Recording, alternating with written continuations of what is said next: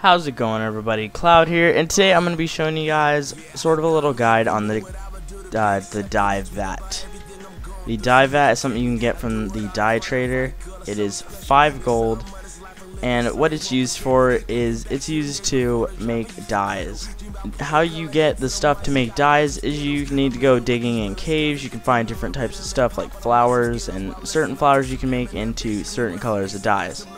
One of the things I'm going to be showing you guys right here is uh, the green mushroom.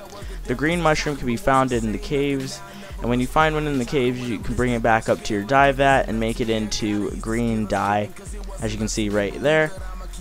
Sort of, and um, yeah, so once you get the green dyes, you can also use it to put it on your character and you put that on your character by putting it on the third slot that says dye on it and when you put it on there it'll dye your clothes that color hope this video helped if it did make sure to leave a like down below comment what other games you want to see me play and subscribe for the latest and the greatest Terraria tutorials. With some attention and some women, I do anything for a night or I just wanted to get some, so I use my mind to my advantage. And though it ain't fully developed, they would feel it, she would dig it, I'ma get it, and she with it, but back before I